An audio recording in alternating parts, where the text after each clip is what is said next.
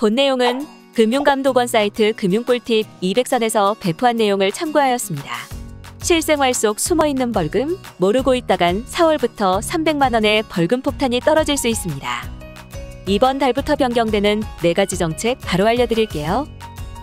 첫 번째, 코로나19 확산으로 인해 일시적으로 허용되었던 플라스틱 컵 사용이 다시 금지됩니다.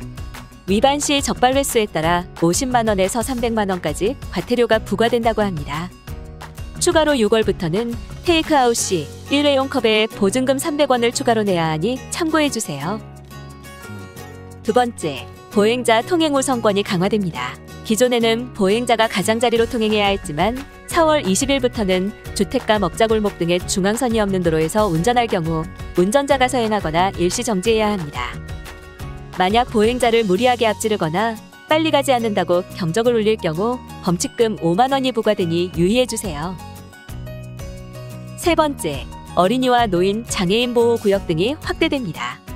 모든 복지시설의 주변 도로 일정 구간을 장애인, 노인 보호 구역으로 지정할 수 있으며 어린이 보호 구역의 경우 초등학교 근처, 유치원뿐만 아니라 놀이터, 학원가 등의 주변 시설에도 지정이 가능해진다고 합니다. 참고로 해당 지역에서 주정차 위반 시 12만 원, 속도 위반 시 최대 16만 원의 벌금이 부과됩니다.